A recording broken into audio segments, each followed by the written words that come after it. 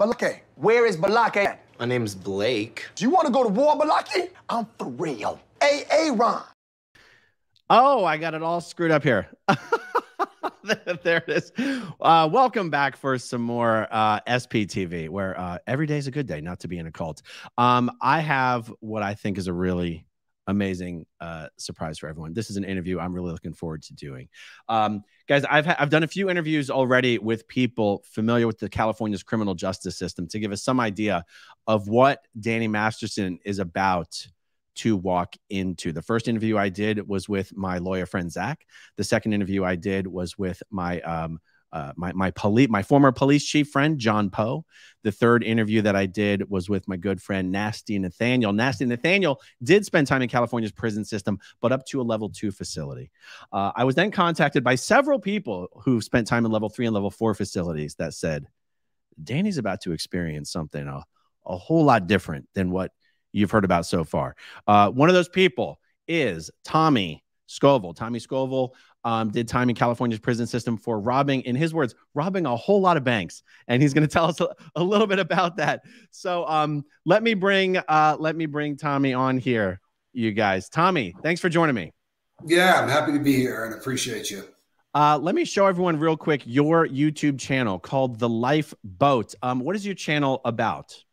Uh, well, when I got out of uh, uh, when I went to prison the last time, I went three times in my life. I was addicted to heroin, and uh, I robbed banks to get money to pay for a, a, drug habit.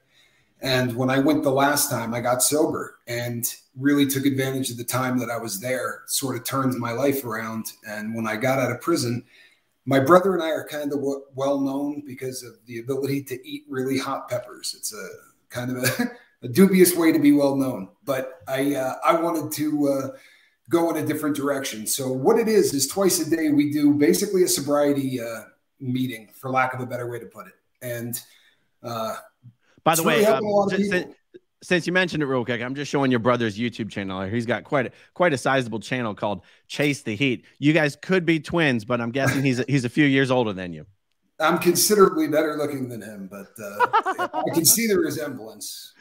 All right, so you're Tommy, he's Johnny. That's his channel is Chase the Heat. Your channel is The Lifeboat. Is this dedicated to um uh, recovery, like substance abuse recovery? Absolutely, 100%. That is what our channel does. It is not a 12 step program. It's uh, we don't go that route, but it is a sobriety channel. So 5 a.m. and 5 p.m. on the uh, Pacific uh, Standard Time, we do a uh, a one hour live feed gives people an opportunity to meet other people in sobriety and uh, set up a support group of people that don't get high. And so far, the uh, it's really been a uh, a landslide. We the our numbers are incredible. Probably awesome. a little better than Narconon. Speaking of which, we were talking, you know, we were talking uh, just privately yesterday, and and you asked me, I won't say their names just for privacy purposes unless you want to. You said, Do you happen to know and you named two people who when my wife and i were still in scientology were two of our closest friends. And uh, you know they're both ot8s now. And the fact that these worlds have this overlap is really weird because these are two people that you knew quite well. Yeah. um, so how how many years did you spend in the california prison system and also well, the federal the federal system? Yeah i was in the i was in the federal system but i was in the federal system in california. So there's a bit of a distinction but I did time in the feds in probably six states. But when you cross into California, all of a sudden it's like you're no longer in the feds. The time you do in California, especially if you happen to be white, is a completely different uh, setup altogether. The California uh, car in the federal system runs their uh, their yards very similar to the uh, the state facility, and Danny is not he's not going into a uh, fun situation. You know, a lot of people hear uh, that someone like Danny will be in um, protective custody or sensitive need yards, and I think it's easier for people to assume that means Danny is safe. Uh, you explained an awful lot to me yesterday. I, I hope we have the opportunity to cover all that ground here. And by the way, we're doing this as a live interview. We're going to do this as a Q&A. Feel free to ask questions and I'll bring them up as appropriate and as time allows. yeah. So basically, when people hear PC, right, protective custody, um, you tend to, to think that they're going to be in this nice little cush place where there's a bunch of people watching them. And what people don't realize is if you happen to be what they call an SO, right? Which is what he's just got convicted of. A sex offender, um, right? Correct. It's the second rung on the ladder, right? The lowest being doing that to a child. The the next rung up is where uh, he is at. So he's basically considered the scum of the earth. He gets sent to a PC yard, but there are killers on those yards. For instance, let's say you are a lieutenant in a gang. You're a high up, you've put in work, you've got bodies, you know, you've literally killed people. And then all of a sudden there's a beef with you and the guy at the top and over whatever, money, dope, but they kick you out of your particular gang. You're going to a special needs yard. So everybody that doesn't make the cut in the gangs end up on these yards. They the days of uh, you know I heard in one of the interviews you did, and they were all good. They just you know I have a slightly different take, I think. But in one of the interviews, the guy was talking about how all of these people who look at child porn have basically flooded the California system. There's nobody in the California system that looked at child porn. That's a federal offense. So if you go online and you look at at uh, any of that stuff, you're going to the feds. There is not a state that that has been completely handed over lock, stock, and barrel to the federal government. And the, the reason being primarily because people do it online. So it crosses all state lines and whatever. But the California system is notoriously vicious. And my my experience when I was in the feds, we saw a lot of famous people come through. You know, the uh, the cop that um, that made one of his wives disappear, and then they exhumed the other one. His name was Drew Peterson. He was a cop from Chicago, Illinois. They pulled him out of the state system because he was in jail with people he put in jail. Not a great setup. So they put him in the feds, and that cat walked normal yards, but there wasn't a day that went by that he didn't get beat on. I mean, not a day.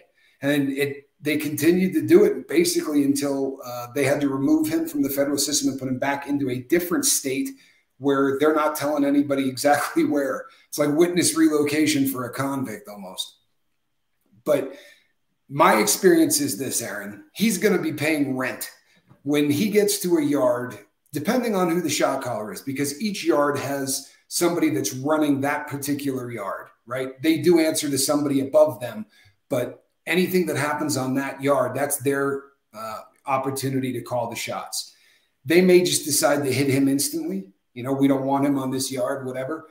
The, the other option is people are going to go up to him and say, here's the way it is. If you want to stay here, you're going to be paying rent to him, him, him, him, and me.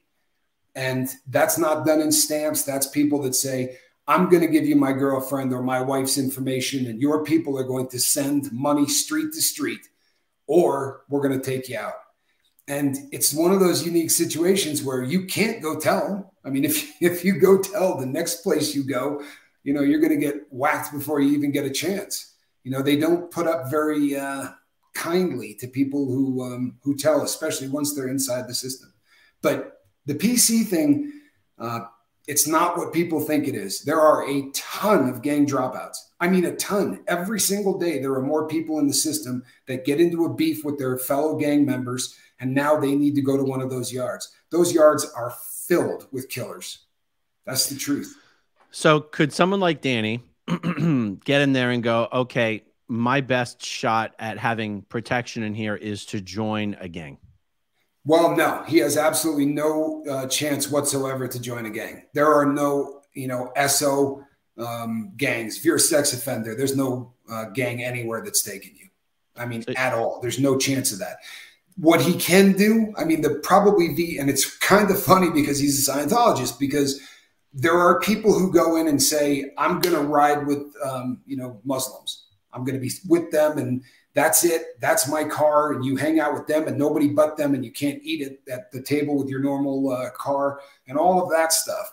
But seeing as he's, um, you know, a Scientologist, I don't see him going and becoming part of the Muslim Brotherhood. So, uh, I don't see any way out for him other than paying rent, and they will just bleed his family dry. They're going to put uh, get to a point where his loved ones are going to have to make a decision: Do we continue to pay these people? Right? Do we risk calling the cops because if you know If they call up and say, This is the person I'm sending the money to on the street, I mean, that's a death sentence. I promise you, bad things would happen on the inside. They will bleed that guy dry. I mean, I watched it happen in the federal system constantly. You know, there were some really high profile people that went to the feds. And if you've got cash, I remember sitting in, on a yard and uh, people were talking about TI, you know, the, uh, the, mm. the and everyone was going, "Good Lord, send them to this yard." You know what I mean? Send him to this yard. Now we wouldn't have been able to do anything because he's not in our car, right? He's a different race. What does but, car mean? What does car mean? Um, the white car, right? That would be everybody that is a solid white boy. But what so, does car what does car mean though? It just it is a, a term that is used behind the wall that basically just means one of two things. Everybody from where you're from. So if you're on a very big yard, the uh, the Salt Lake car might hang out in one table, and then you've got the Vegas car that might hang out at another table. It is just the people that you run with on a daily basis. However, the bigger car is you are a white guy, and if the ship ever hits the sand, they expect you to be there for uh, for the cause. Now, that's whether you believe in any of the, their politics or any of that. You got to be ready to go. Key point that I hadn't hear anybody else talk about when you get to a real yard, like a level four yard, you get to that yard instantly. As soon as you walk in the door, we need to see your paperwork. And they're going to back it up anyway. They're going to get the paperwork. They're going to look at it. Then they're going to go get on a phone and they're going to do Pacer.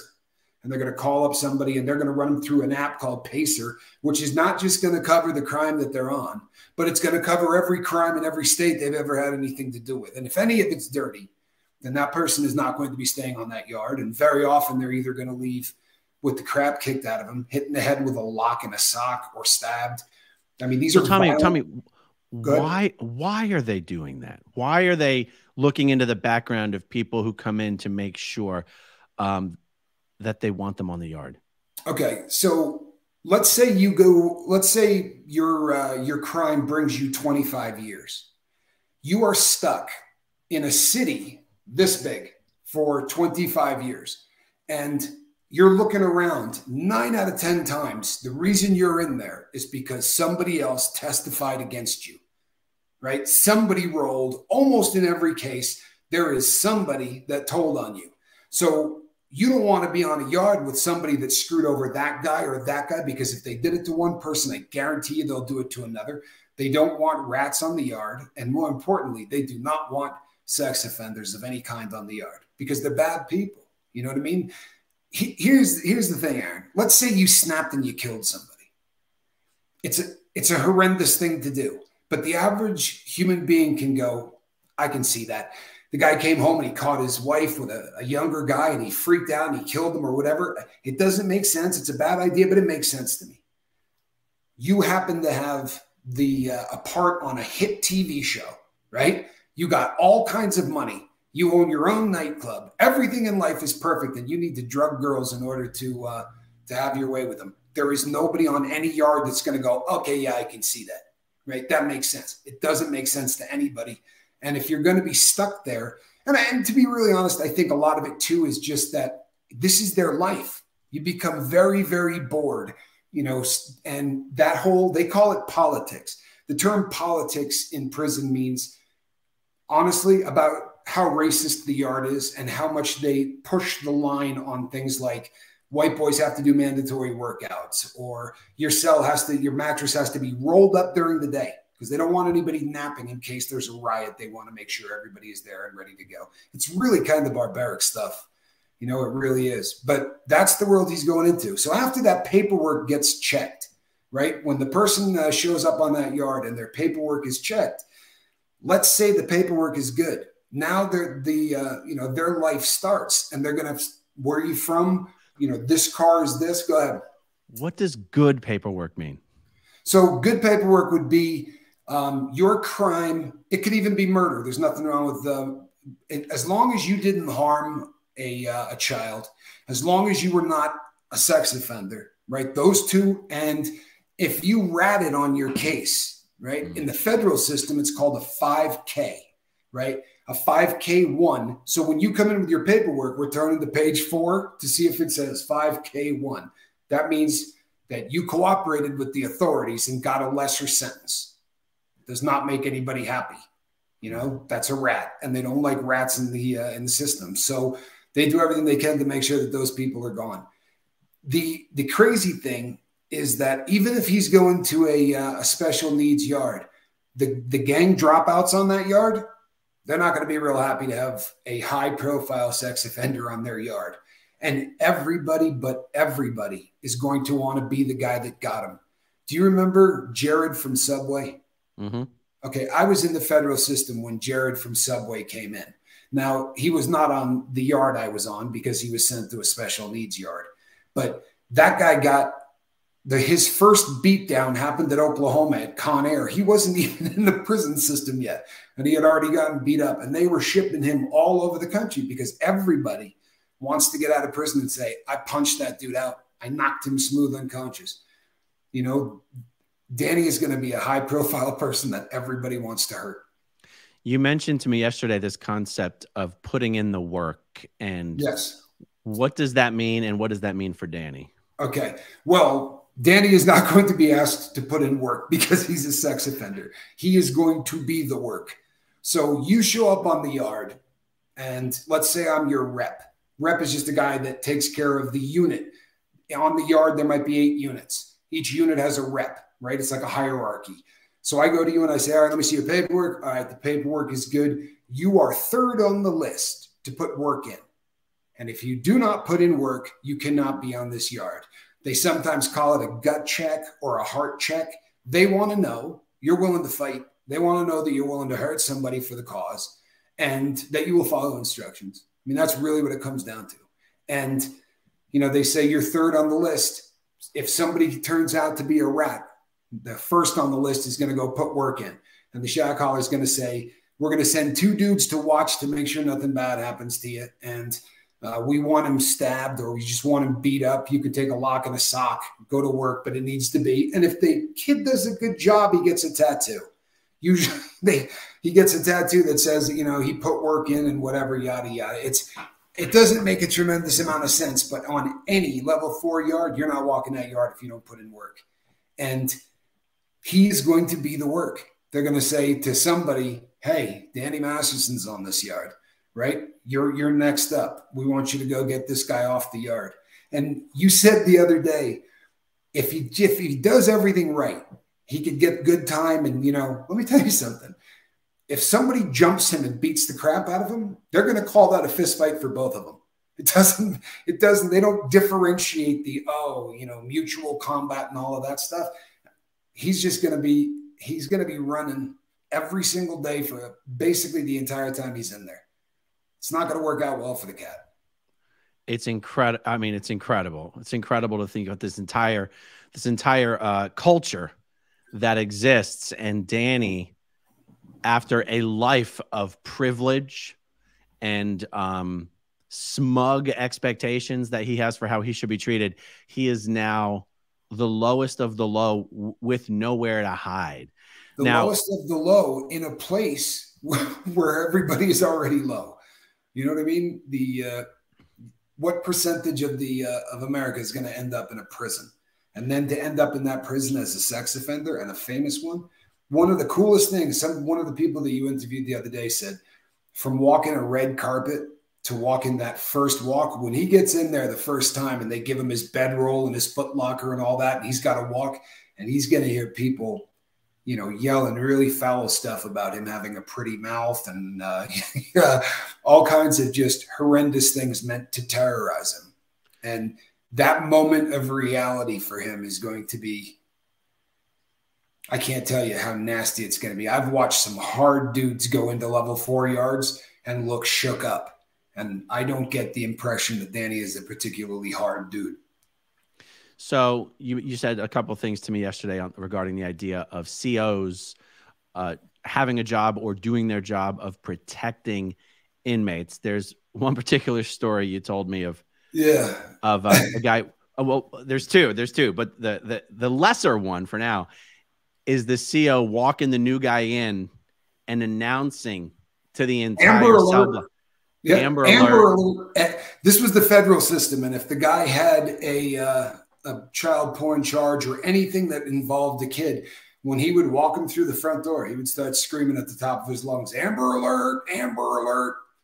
I mean, that there are a lot of um, there are a lot of officers that, I mean, no one likes a sex offending, right? No one likes a sex offender. These these people take advantage of uh, of individuals in a way that you can't respect at any level. It just it brings on hate, and if you're in a if you're in an environment where you got nothing to do all day long but make weapons, right? Literally, I mean, everybody, the yards I was on, there was nobody that didn't have a piece.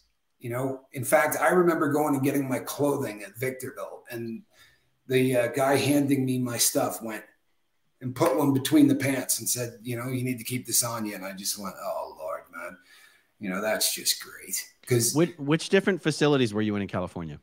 Um, well, I was in uh, um, Victorville was the uh, the California yard that I was at, and I was at the penitentiary, and I was also at the FCI.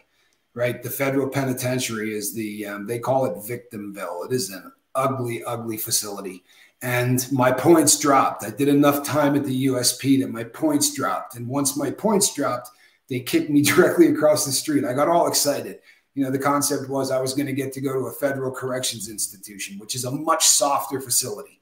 In theory, it's a much softer uh, facility. And that's why you keep your nose clean. And that's why you try not to fail drug tests and, and try not to get in fights because you want to get to yards that you have a little bit more freedom on. The level four yards are locked down all the time. Somebody gets stabbed, everybody has to lock down, right? You come off lockdown, somebody stabs to get back at them, you're on lockdown. There were there were stretches where in the course of nine months, you might have been out 10 days. Just ugly. But me thinking I'm all happy, packing up my clothes, thinking maybe I'm going to get to go to one of these 120 yards somewhere in a nice part of the country. And they literally put me in a van and drive me across the street to uh, to Victorville FCI, which when I got to it was worse than the USP. It really was. The uh, there was a guy that cut the warden um, while I was there. We ended up on a lockdown for about uh, three or four months behind that. But cut him through a three piece suit, took like 70 staples. Really, really ugly. The, uh, the, the level of hate, you know, when he when he steps foot onto this yard, I'm telling you, I it's going to sound really sick and twisted, but there's not much I wouldn't do to see the look on his face when the reality sinks in. You know what I mean? He's he's going to be, I think, in my opinion, you know, you have a better chance of getting protected in a county jail. Once you get to a prison yard, right? A county jail is like you're just you're moving your way through. There are people who are going to live on the yard he gets put on for the rest of their life. That's their home. That's their city. That's it's frightening, right? But that's the truth. You get a 55 year sentence. It, this is uh, this is his home. Trust me, that guy ain't getting out of jail. Because what's going to happen is, I promise you, you're going to see a lot more cases start coming out. And, you know, you were asking the other day, do you think that they'll bring charges? They will bring charges. They're going to bring charges because number one, it's justice for the for the victims. They have a right to to see him get punished for. And the other thing, you know, for what he did. And the other thing is, God forbid they overturn a sentence, right? They throw out one of them, and 15 years later, he's able to walk you know, out the front door because one got overturned on appeal and they had a chance to charge him on four other crimes that they didn't. No chance in hell. They're going to charge him for every one of those things. Right. You're talking you're talking about whether prosecutors would, even though he's already in prison, prosecute him for new victims that come forward. You're saying, hell yes, they will. Oh yeah, they're going to. I promise you, they're going to. You know, why we, is it? You mentioned you mentioned earlier that it, uh, the only chance he would have to join either a gang or a group that might provide protection um, is to convert to Islam. Why is that? Because it's the only religion um, that I saw in the prison system that would take anybody in because their philosophy is anything you did before you handed your life over to uh, to Allah, that's all in the past and it's all forgiven and it's all forgotten. So you see a lot of guys come in the front door and instantly start screaming, where, where where's the, you know, the Muslim car?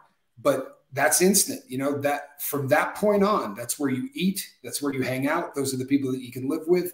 It really is going to change how you do your time. But as high profile as he is as a, as a Scientologist, I don't see him um, joining up with the, uh, with the Muslim folks. Uh, you might have just answered a question I was I was going to ask, which is, if celebrities are such high targets and if sex offenders are such high targets, how did someone like Mike Tyson make it through his time? Is it because he converted to Islam inside? Um, well, the other thing is this: um, in different states and in, for different races, there are there is a different philosophy about sex offenders within different races. And I'm not trying to get political and, and bust on anybody or anything else, but um, California white boys are probably the most savage people in the entire world when it comes to taking care of sex offenders. He picked the wrong state to be a white sex offender in. You know that it's just they really run a tight line. They uh, and Mike Tyson is uh, is probably a little bit better equipped to take care of himself, right? If I had to fight one of the two of them, I think I'd like to fight two Dannys before I would, you know, take on Mr. Mr. Tyson. Wow.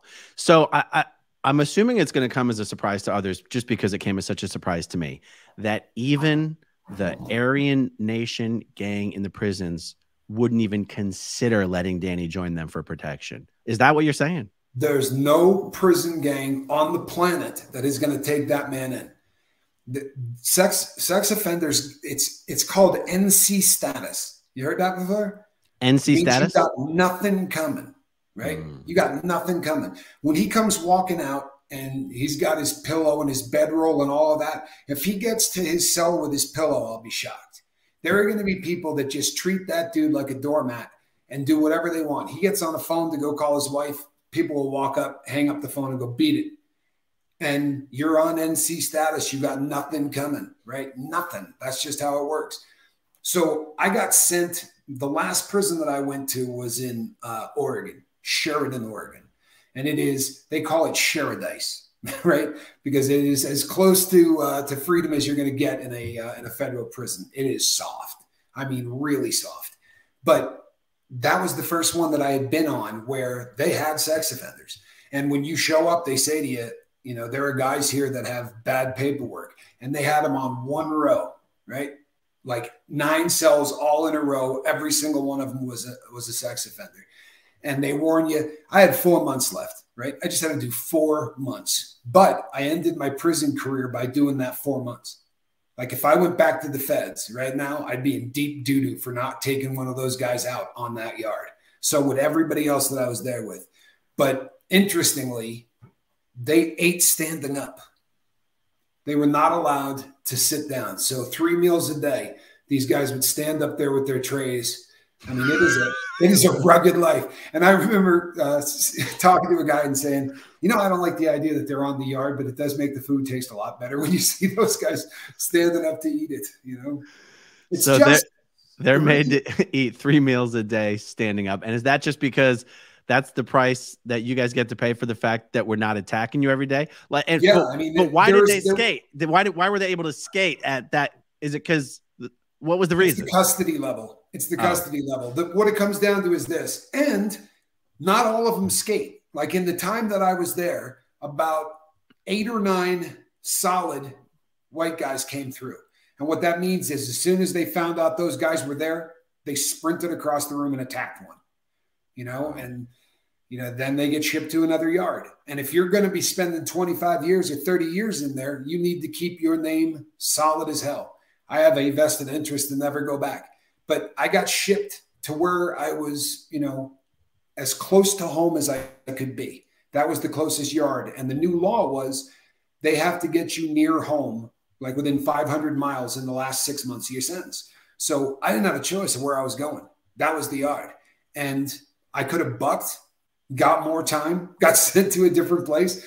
I was like, yeah, no, man, I just want to get out you know, re- lived my life. By that point, I was about uh, five years sober, and I had not had five years of sobriety in my life. You know, that was a, uh, a first. But by the way, how many years did you do total, if you don't mind my asking? Um, altogether, I've done uh, 13. 13 years.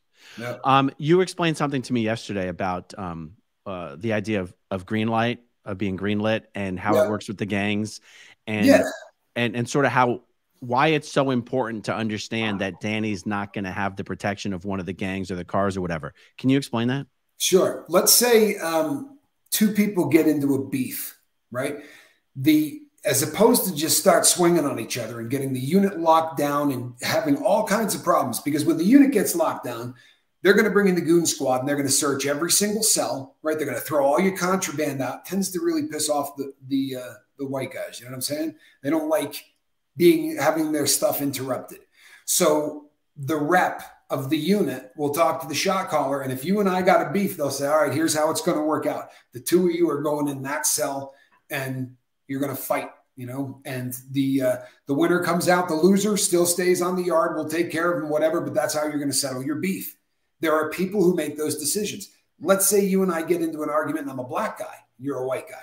Now we really got an issue, right? Because if you strike somebody from a different race, bad, bad things happen. So I would have to go to my shot caller. You would have to go to your shot caller. Those two get together. They have a discussion on what's going to happen. But if if they give a green light, like let's say there are two uh, gangs that beef, right? They'll have a green light. What it means is you see them, you attack them, and you try to kill them on sight. You're green lighted. Um, SOs are green lighted right? They're always green lighted. A solid white guy in, in the California system, if he gets a shot at hitting him and doesn't, he will end his career. You understand? Like from the from the prison, I, you know, I am a convict kind of uh, mindset. If you got an opportunity to punch a sex offender, stomp him out, stab him, whatever, and you don't take advantage of that, the, they're going to take you off the yard. You're gone it's a it's a pretty bizarre world that he's about to enter. I promise you, wow. it's it's a bizarre world. So once you explained all this to me yesterday, I said, you know, when you have a culture where not only is it permitted to attack or even kill someone like Danny, not not only is it just permitted, it's actually a problem if you don't. Right. I said, then how is it that there's any left in the system? How is it that any of them even continue to remain? And what, if any, chance does Danny even have to con- to survive in the system? What are what he's got what going his- for him? What he has going for him is uh, cash.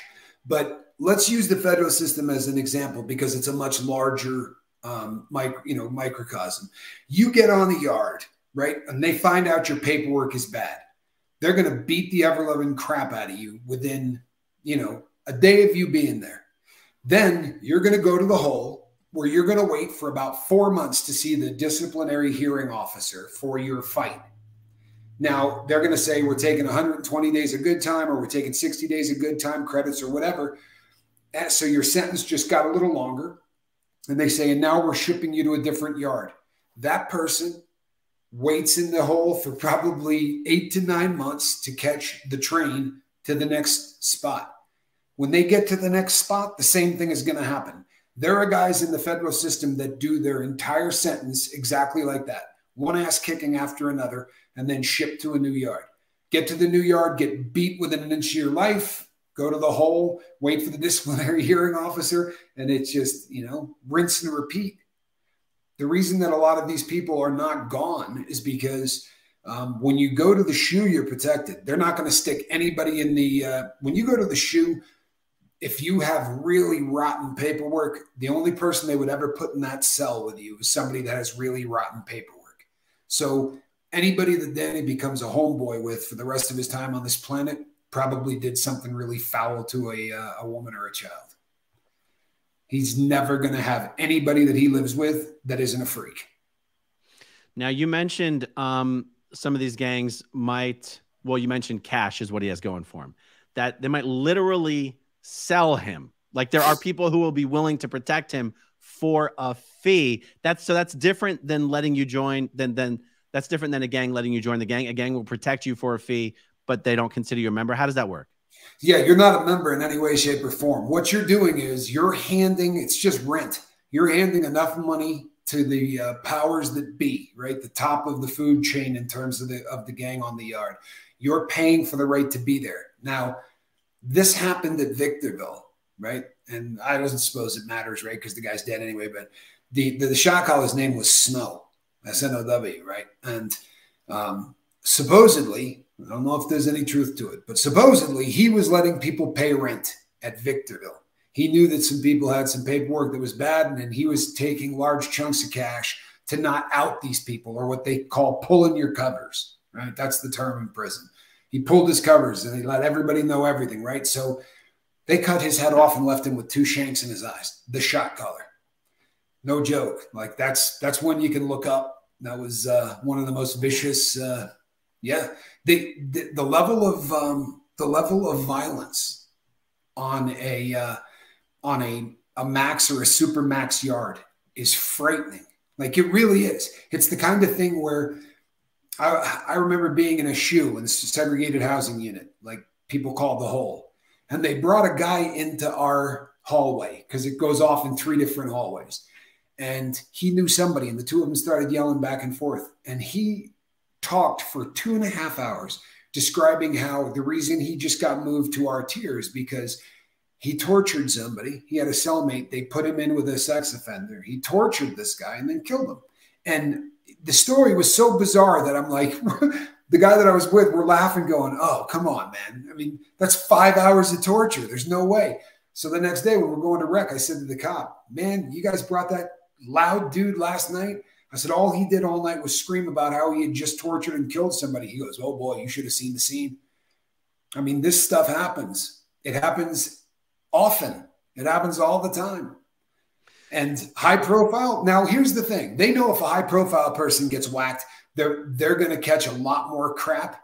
So they may do what they can, but there's no way to completely isolate the guy, right? There's even if you put them all to a sex offender yard, there's a hierarchy among those people, right? The uh, I'm trying to remember how they uh, clickers, right? Those are people who just look at pictures of kids, right? The people that touch them. So even in the like at, at um, the prison I was at, there was a hierarchy. Like there were certain sex offenders that wouldn't hang out with that sex offender because that dude's a freak. Like he, you know, he touched somebody. We were only looking at pictures. Bizarre. But if they put him on a yard where every single person there is a freak, they're still going to want to hit Nate Masterson. He's famous. The toughest guy in the room is going to try to extort him, and it's going to work. I promise you it is.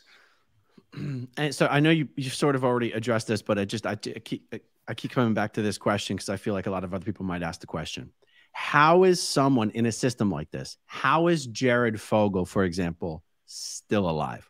Well, like I said, so you hit a yard, you're there not even four hours. If you're Jared Fogle, they're going to attack you as soon as you get there. Or the other great example is the guy that um, kidnapped Elizabeth Smart. I was going through Oklahoma City when I watched a guy punch that dude in the head, and he's only about four foot six anyway. He's not a very big guy. But I saw somebody hit him in the head hard enough to knock down the uh, metal detector. You know, the, he took down everything. It was, a, it was a pretty good shot. But so you hit somebody, right? Jared Fogle goes down. He goes to the hole. Four months waiting to see a disciplinary hearing officer. Eight months waiting to get shipped to the next yard. That's a year. You hit the next yard. He hits you, right? Four months waiting for the disciplinary hearing officer eight months going to the uh, to the next yard, and they can say, "I want protective custody." When they get to a prison, they can say, "I'm not going out on that yard." Like I remember when I went to the USP at Victorville, 38 of us went in on a bus. Seven of us walked out onto the yard because everybody else there was like, I ain't going out there, man. There's something in my jacket, or there's something from my past, or you know, I'm just plain scared, or whatever it is. But you know, the vast majority of people wanted nothing to do with that yard. And as crazy as this is going to sound, if you got to do time, the higher the custody level, the more the respect. So different races never seem to, to, you know, it doesn't go bad until it goes bad. Everybody lives harmoniously. You stay with your own. There's not a lot of people talking back and forth between other races and whatever, but there was nobody nobody's going to steal anything from you nobody's ever going to you know there's no disrespect at all you there's no place on the planet where you will hear excuse me more than in a, on a level four year excuse me no no excuse me you know everybody wants to yeah you know you show a level of respect to every single person in there because you know that if that person's on a level four yard they either had a really twisted crime right they did something heavy or they're a psycho they're a stone cold killer because there are guys that come into prison with really low yard points. And what that means is when you first show up, they're going to assess a number for you. right? They put you in in the joint we call it the fish tank, but what it is is intake, right? So you go to an intake unit, and then you're going to do a medical, uh, you're going to do a psych, you're going to see all of these different people, and what they're trying to do in the two months that they have you locked down is see if you can do time, right? They're not going to let you get out of the cell very much. In fact, they're going to do everything they can to keep you locked down almost 24 hours a day. And the people who can't take it tend to go nuts. Then they can take those people and ship them off somewhere else. Give me five seconds to replace this battery. okay, then. You know, I would answer questions if I could see it. Oddly enough, I can't pull up the um, the chat. But then again, bada bang, a fast little uh, pissed off. Um, okay, pretty quick. Okay, so you mentioned earlier. I just wanted to uh, uh, bring this back up. This whole idea of people on the inside saying you are going to have your wife deliver this amount of money to my wife, my girlfriend, my friend, whatever. So, like, Danny's family will be involved in paying bribes to the friends yeah. of the people inside who may have agreed to protect Danny. And that money is the only money or this whole, you know, spending 12 months in confinement every time he gets his ass beat yeah. is pretty much going to be the only thing that saves him. Now, now his family, I got to tell you, I mean, I don't know. I see it's hard for me to imagine a family of of diehard Scientologists agreeing to something like that. I think they they might have a private chat with Danny and be like, Danny, you don't don't put us through this. You know what to do. You know what to do. yeah. Well, and, and, that's that's a very interesting thought, right? And when we were talking yesterday, this this was something that stuck with me for like two or three hours after our conversation. If you know, if you're really you know drink the Kool Aid and you really buy into absolutely everything, if he's a, if he's a diehard believer, then how important is this body anyway, right? Mm-hmm. You know the uh, yeah, I would not be surprised if uh, if that happens. If if he decides to uh, to take himself out, um, people will. As far as the street to street goes, you know, if you're if you got a habit in prison, if you're doing you know a thousand dollars worth of heroin a week, you're not buying that with po- with postage stamps. You know, behind the wall, there has to be some kind of currency. There has to be some fiat currency, something that represents money, and they use stamps. So you got fifty like, cents, like just literal stamps. Yeah, because they can't stop you from buying $10 worth of stamps. Oh. They have value of 50 cents each. And it would get so confusing because when you buy it, as soon as you walk out of the store, it's worth $2 less than, than you bought it for. And if you tear them up, but you have the same number, that's called a yard book, it drops two more dollars in value. It's bizarre. But the big money transactions are done street to street. And it's usually done through things like Green Dot or these cards that you can get. So his family's never going to have to meet anybody, but they're going to have to get on a telephone and say, all right, we just sent over, you know, 600 bucks. And the amount that he has to pay is going to just get bigger and more frequent and bigger and more frequent and bigger because the guys that are, are going to be taxing him, they're going to be taxing him for dope. You know, so if Danny's solid- inside, if Danny's inside and he wants to, because Danny, um, as a Scientologist, I know he's got these horrible um, criminal uh, predisposition that you know he's going to prison for. But but he, I don't think he does drugs.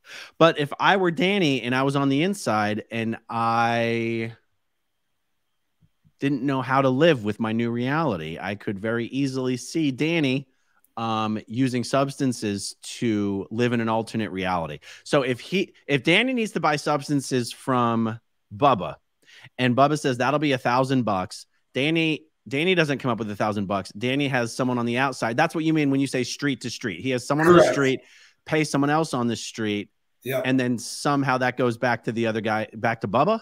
Yeah, Bubba gets a gets a he makes a phone call and they say, "Yeah, I, I got the money." There are guys who go to prison and make two hundred grand while they're in there. You know, they've got they have somebody that's bringing them in dope. They're slinging the dope and street to street, not prison to street or street to prison and they build up a very large nest egg. But to to what you were just saying, what would happen is he'd send a thousand dollars uh, on the street, and then he'd come up and say, "Hey, you know, you got that dope," and the guy would be like, "Nah, you're the dope, right? Appreciate you. Good looking out on that thousand. You know, you you ain't getting nothing. They literally got nothing coming. The guy that sells him drugs would be in trouble. You know oh, what I oh, mean? Jesus. He's he's on NC status. Like no joke, he's got nothing coming. It's not going to be a pleasant time for the guy. It really isn't. So in Which addition to looking to hurt him, they'd be looking to rip him off any way they can. And it depends on who the shot caller is, because there are there are dyed in the wool like hardcore convicts that would say, you don't let a guy like that pay rent. No, you don't let a guy like that pay rent. You know, we we smash him, we get him off the yard, and we send him. Eventually, he's going to hit some place where the shot caller is willing to take a bunch of his money. But he could theoretically get shipped from one prison to another a lot. They call it diesel therapy. So, you know, okay, somehow it just finally clicked. Getting someone off the yard means hurting them so bad they get sent to another prison. Correct. Oh, I don't know how that that didn't quite. sorry, you know what? Didn't quite set in before. well, and, and, it took me a long time watching you to get the uh, the Scientology lingo down, and I guess I take it for granted. And I, you know, I've been out a while, but the uh, some of the phrase, phraseology, yeah, getting someone off the yard. Um, there are basically two ways you can get off a yard. One is you put in for a transfer and they accept it. Your points dropped, whatever. The other way is, you know, a dishonorable way to leave the yard. You know, you uh, you check in. That means you go up and say, "I need, I, you got to protect me." That's called checking in. And in the federal system, if you check in once, you're done. You can't go, oh, it was a mistake. I'm never going to do that again. You know, you got to guys got to give me a second chance. It doesn't work like that. If you ever ask for protective custody, you're done for the rest of your time. Wow. It's, it's, but if you get your ass kicked and you didn't tell, you didn't do anything, that's an honorable thing. There's nothing wrong with losing a fight, right? They, they don't view the loser of a fist fight as uh, as somebody that you know deserves any kind of derision. It's you know, there's always a winner and a loser usually like in the federal system, we would get that guy into a cell and take care of him until all the bruising went away. That means we got to cook for him because he can't go to the chow hall. And we got to keep him hidden so that the cops don't get a real good look at his eye, you know, or his uh, his face or whatever. Sometimes people have to get stitches and all kinds of other stuff that try to fly under the radar. Something tells me that Danny's something tells me that Danny's first instinct is going to be to go and check in. Because oh yeah, I would. I, I don't think he's. Uh, I don't think he's going to try to man up. I, I'd be really surprised if he does. Um, but one way or the other, you know, eventually he's going to get to a point where they say, "No, you're going out to this yard." You know, I mean, I, I can't imagine they'd let him do 50 years. And I promise you, I would be willing to bet you my watch collection that this boy is about to pick up more time. Right. Guaranteed. This, he's not done you know, if he gets another one, isn't that a third straight Cali? I think it is. He's got oh, two right now, doesn't he? Yep, one more. yeah, if they can get him for one more, he's doing life anyway. Oh, one other thing. Uh, actually, two other things. Um, the gamma hydroxybutyrate, right, or gamma hydroxybutyric acid. That's what that uh, low life was using apparently to knock people out. The term roofie tends to get um, it's used ubiquitously like uh, Kleenexes, right? Doesn't have to be a Kleenex. We all call it Kleenex or a Xerox copy. But roofies have been gone for a real long time. They're very difficult to get in the US. What he was using was GHB, a bathtub version of it. That stuff was invented in 1920 to knock people out for surgery. There is no use for that stuff that's legit. Um, yeah, he's just, he's an absolute low life. And, and during the time that he was doing this, there was a floor stripper that was readily available on the internet. You could buy it.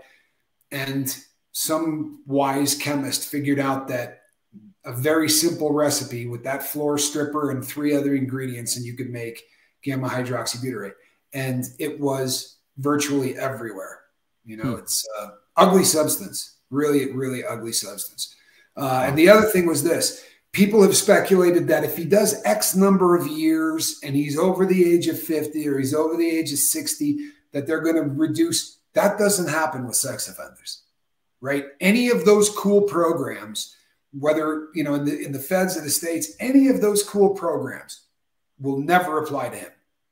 Their, their biggest fear is that they're going to let a sex offender out and he's going to go and reoffend and the, the politicians are all going to not get elected you know, violent offenders, I don't know, but sex offenders, no, they got nothing coming. You're not getting that, you know, the good time credits. You're not getting any of that stuff. Right, right, right. Um, on the subject of COs, the correctional officers, um, being complicit in harming people like Danny. What was the story you told me about the Con Air thing that you were involved? You saw it. Yeah, that, the um, that was the that was the cat that um, that hit um, the guy that kidnapped uh, Elizabeth Smart. All of us wanted to hit this guy, but we when you get off the plane, you're in an airport, just like you would any other plane, right? The thing comes out to the side of the plane, and you walk down your gangplank, except you got cuffs and you're shuffling, and you're instantly in a prison. It's a high rise, and they're doing the intake for everybody, and you know everyone's looking at this guy. Like every single person in the building is looking at this guy, and maybe ten minutes, fifteen minutes, you know, went by, and finally one guy just runs. I mean, a dead sprint and punches this dude. And it's not like regular fights. In prison, you want to hit somebody as many times as you can before you get tackled. So it usually looks like somebody sawing wood, right? I mean, they're just punching the crap out of him. But they had knocked down the metal detector. It was absolutely epic. But so he got taken to the hole, and uh, he was out. The guy that he that he hit, the, the the rapist, was out for a good five minutes that I watched, and that's a really long time to be knocked out from a from a punch. You know, normally it's just the, your lights go out and you wake right back up. But when I got on Con Air, the uh, I remember how many days it was, but that cat came and sat down directly next to me, right? And I said to him, "Boy, you know what? I respect the hell out of you hitting that dude." I said, "But they can charge you with a hate crime, right? Now, if you got life, who cares? But they can charge you with a hate crime if you go after an SO. It's crazy." it's a law that they tried to put into place because it is so rampant that people just attack them that they're doing anything they can to try to keep them safer.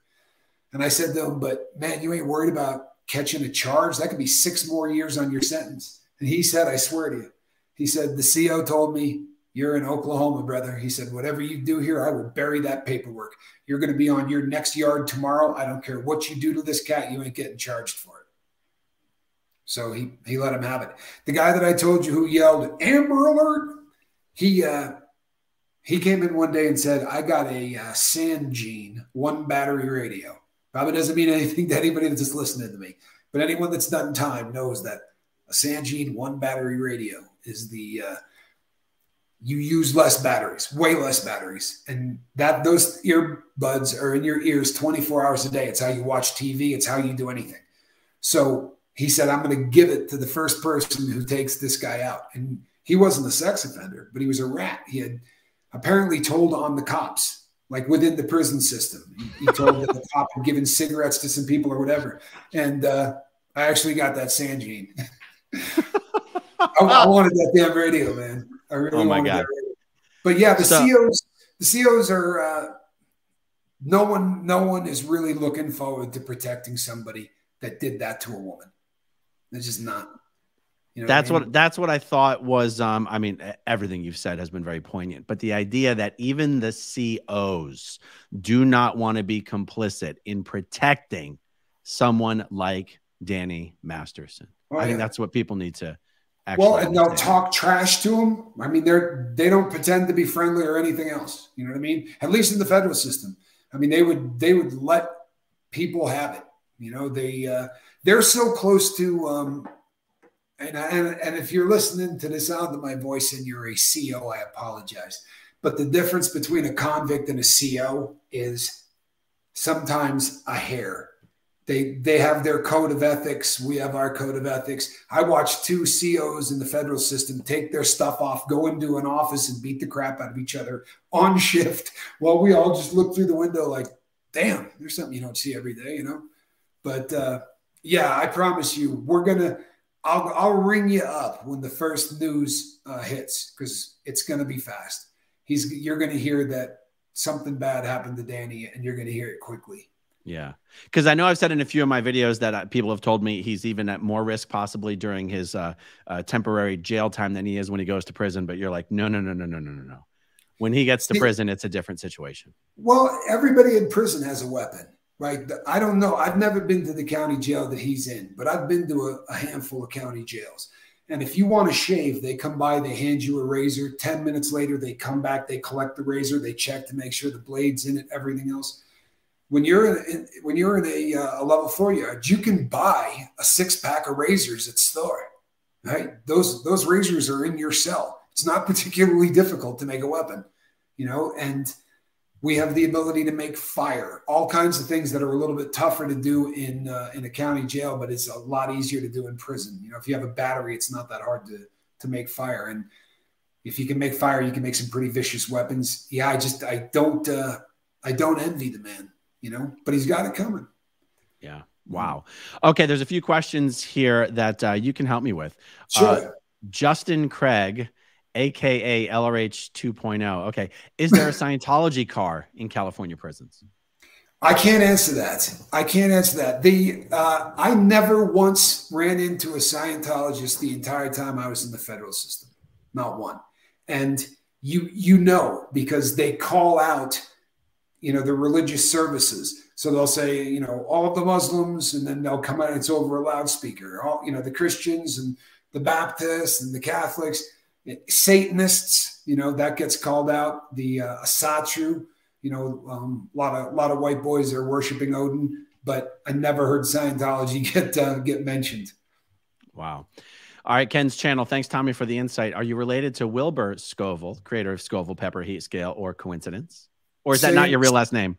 no, it is neither. Uh, neither my brother or I were born um, Scovilles, but the uh, we piggybacked off of Wilbur because of his uh, his great scale. The uh, when we started eating these things, people said that you know a Carolina Reaper would kill you. That there was not somebody that you know there wasn't even a possible thing. And you know, I think I've seen my brother eat forty six of them at, the, at a sitting. You know, so we're we just had a, a slightly different tolerance or, or I don't know. Wow. Ability to talk while we do it. It's silly really. Wow. Denver Stevo, there's something interesting about a guy who spoke a very specific and confusing cult language asking another guy from a different cultic language to slow down and explain. That's a great comment. um all right. Well, I guess the algorithm probably uh, won't know what this is talking about. Will Will Danny be holding someone's pocket? Will his stuff get pushed in? What does holding someone's pocket mean? what it means is that is he going to be the possession of somebody, uh, right? Uh, yeah, you're you're literally tethered to the dude, and uh, and obviously you know the other reference he made. This is the only chance that I see of that happening to him, right? It, the, there are two ways that could happen. One would be they put him in with a celly that is big enough to do whatever he wants, and at about two o'clock in the morning, he'll just do to him what you know he did to other people, and that does happen. You know, it absolutely happens. Now, it can't happen to a solid person. If you did that to somebody in a solid individual with good paperwork, you're dead. You're literally going to be killed for that. But it's completely different. In fact, they have a very vile term for it. they will allow that to be done to a, uh, a sex offender. The other option is if if he sends money and then eventually they say that's it, we're not sending any more cash they will literally sell them and they can sell them to a different race. They can sell them to whatever. And at that point, yeah, if you get sold, there would be some stuff getting uh, getting pushed in. An apple and a sock, the uh, Victorville ball gag. Wow. I'm skipping some of these comments, you guys. Uh, this is a family program. Not really. Um, okay, Pat Short, question. How do they find out if the paperwork is bad? Isn't that something only the guards have? Um, Say that one more time. The, the last part of it. Isn't that something only the guards have? Oh no, no, no, absolutely not. Um, when you uh, when you get there, um, you go and see your counselor, and the first thing your counselor does is print off. If they don't give you your entire case, which they should, they will give you your judgment of, of commitment. So that's enough. If somebody has done any time at all, I can look at a judgment of commitment and tell you if you're no good. Um, we can base it on what the the charge is and how much time you got. You know, if you if you got a charge that like if Danny had you know got caught with cocaine, but he got four years, and you go, wait a second, this carries twenty years. Why'd you get four? How many people did you tell on? And then number five on that judgment of commitment says, does this person have to register as a sex offender when they get out? And if that box is checked, they can't walk the yard. The other option is they go over to a phone and they call somebody on the street and they say, I need you to run this dude through Pacer. It's pretty easy to get someone's paperwork. It really is. Wow. Okay. Elizabeth Marino says, I grew up white and privileged in Los Angeles. Danny Masterson won't relate to anyone. Prison lingo is another language. He'll feel totally isolated. Will stick out like a sore thumb. I'm an ex junkie too. All right. Hey, God bless you. Um, that's uh, boy, I love hearing that. I really do. Um, yeah, I was on it for about three decades. It, it absolutely can be beat. It really can. But I have churched up the uh, the prison lingo. Like I honestly, if if if it was a conversation between two inmates, you really have a tough time following it. You know what I mean? Yeah. Because there there is abbreviations and there's you know there's uh yeah yeah. Uh, Janet Cheney, curious about what happened to Cosby with all of this information then. Once again, um, Cosby had a ton of money. Uh, and he was in a kind of protective custody that no one else has ever been. He was unable to see when he went in. And with no disrespect to any other race or any other car, they do not police their um, their car, right? Their community inside, like the California White Boys. And I've been in a lot of states, and there is no place like the California White Boys. Like he really, he could not have picked a worse spot to do what he did and get convicted. He could not have done any worse. I, I think that there's a chance maybe someday they dump him in the feds because he's just going to. There's no way that they can keep this dude safe, and sometimes they'll tap out and move him to, uh, you know, the uh, federal system, and they've got ways of protecting people in the feds. If you're really super high profile, they got a place called the Cheese Factory uh, because it's full of high profile rats, but it can only handle about 70 people. Isn't that funny? It's the Cheese Factory. The thing is, Danny Masterson just isn't that high profile. I mean, he is. Oh, oh but he is to the fellas. Oh, I promise you, they're going like this right now. They're going to bring that, bring that dude here, man. Bring that dude here. Wow. All right, Calico 26. What is visitation like? Can he still see his daughter? She's the only one of his family I feel sorry for. Yeah, you know what? That's a, that's a really legit um, thing to say because you got to feel bad for the kids. You you can have contact visits, um, and usually they'll they'll let you get you know a kiss when you first get there and a kiss when the person leaves. It's how a lot of stuff gets passed, you know, into the prison system. You kiss somebody, you swallow a balloon full of dope, um, and then you take it back out whatever way that uh, that you can, either the same way it went in or the other way and that's how a lot of contraband gets there. But yes, he will have an opportunity to visit. Now, that if you get in trouble, if somebody beats him up and he gets sent to the special housing unit, he will not have contact visits.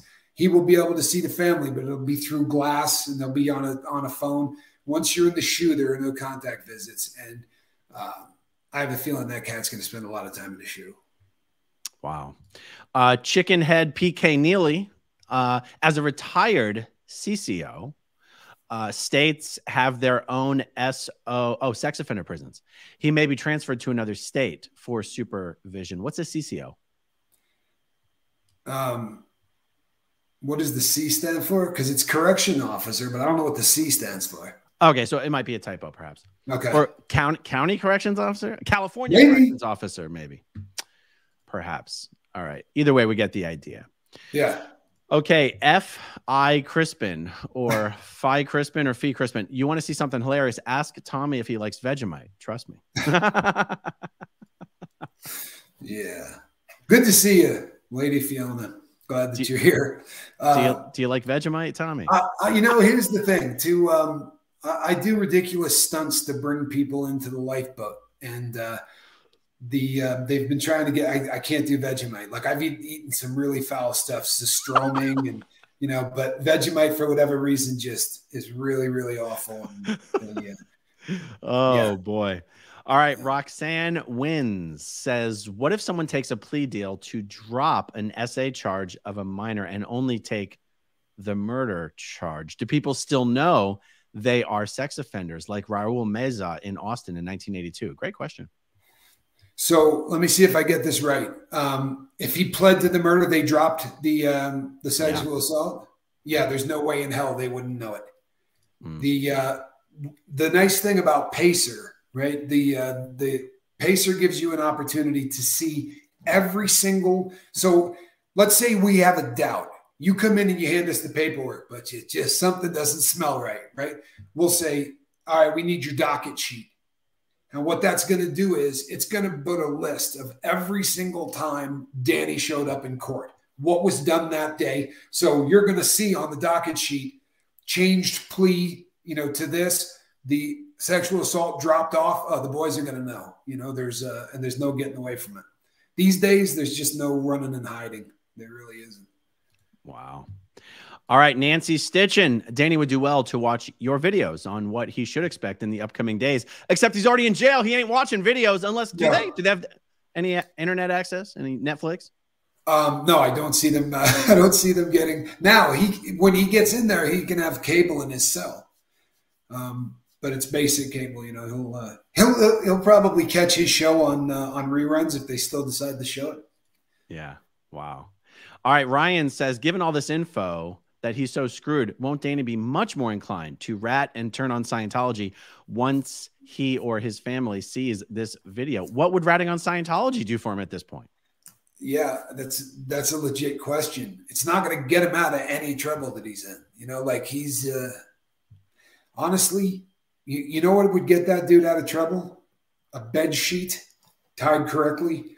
You know what I mean? Like that's that's his uh you know, if, if he is watching, that's your play, brother. You know, do the world a favor, lean in and take one for the team. Yikes! I mean, that that that opens up uh, an interesting line of conversation that you and I were having yesterday, where I explained to you, um, someone someone very with a long history with the Masterson family explained to me. This person was in Scientology. I'm just not naming them just to be. The person probably wouldn't mind, but and said, look, and this person was talking to me as you know, we're both very seasoned former Scientologist. We we we talked the talk and we walked the walk. She said, even in Scientology, I've actually never met a family that was as militant and extreme with the um, always have to be at cause, always have to be at cause, always have to be at cause Then the Masterson clan. They were just obsessed and infatuated with living at cause, being at cause, always being at cause. And that even Danny Masterson's best friend, Brighton Goss, um, had been diagnosed with like a, a degenerative heart condition and and was dying and refused the heart transplant because he said he just couldn't manage to live with himself, not being able to be at cause or live at cause. Now, a normal Scientologist would think that being at cause would just be getting the heart transplant and continuing to live. Right. But but the Masterson clan would define being at cause as not having to forego any of the things you wanted to do. So in other words, this guy was like, I couldn't live at cause not being able to have a drink, not being able to have a cigarette, which is what the doctors told him after you get a heart transplant. You can't drink, you can't smoke. And he says, Well, that wouldn't be living at cause. I couldn't possibly continue to live without being at cause. The guy chose to die a, a slow, painful death of degenerative, you know, heart failure, than to simply get the heart transplant that would have saved his life, but he wouldn't have been able to live at cause. Now, a normal Scientologist in Danny's situation would define being at cause as figuring out how to actually survive through the duration of his sentence. That would be a normal Scientology definition of being at cause, how to continue to survive. Right. But this person explained to me that that's not how Danny defines being at cause. That even if Danny were to get out of prison today, Danny is screwed. Danny Masterson, the identity, the body, the person, the reputation, the name is destroyed irreparably and forever. And that Danny is the type of Scientologist who would be very likely to go, What's the point of continuing with this body, this mock up, this identity when this means nothing? This is temporary. I'd be better off just dropping this body, picking up a new body, growing up to be a child star all over again. This person was basically explaining to me that she truly believes that Danny will just OD on something to drop the body. So he's so he's definitely the real deal. He's he's uh, swilled the Kool Aid. He's a There's true no, believer.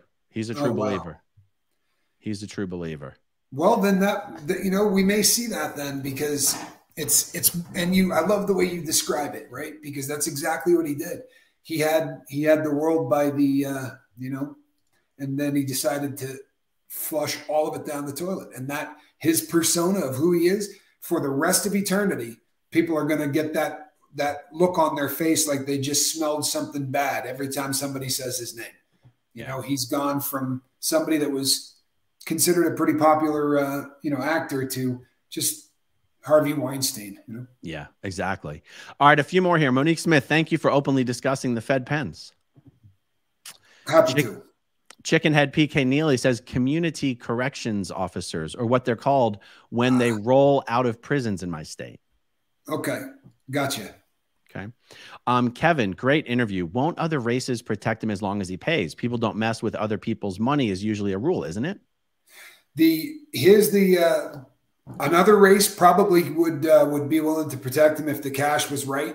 But if you start going down that road, now he is an asset that the white boys are not going to be really happy that got stolen by another race. So if they're going to decide that we're going to allow him to stay on this yard and pay tax, he's going to be paying it to a white guy. That unless they bleed him dry and then sell him off to a different race, but he's an asset. And uh, you know, if they allow it, they they might just say, "We're not having this dude." You know, we don't want this guy on this yard. But if they allow him, they're going to want that money for themselves, to be sure. Wow. All right, y'all ain't right says there are no Scientology gangs in prison.